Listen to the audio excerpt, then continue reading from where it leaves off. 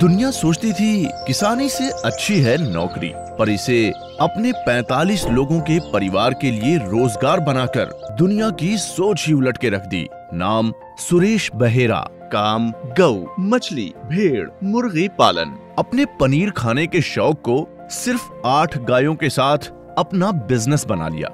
अपनी मेहनत के खाद, पानी और पशुपालन विभाग के सहयोग से दो एकड़ को 23 एकड़ बड़ा फार्म बना डाला।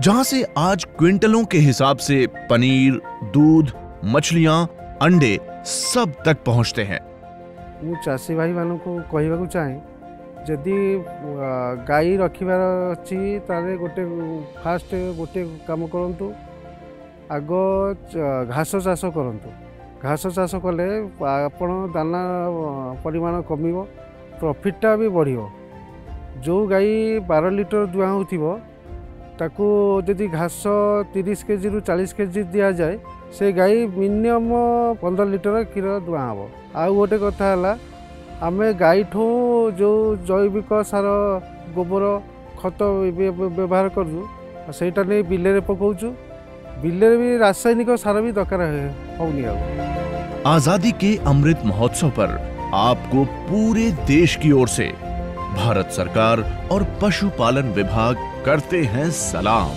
सुरेश बहेरा देश की शान।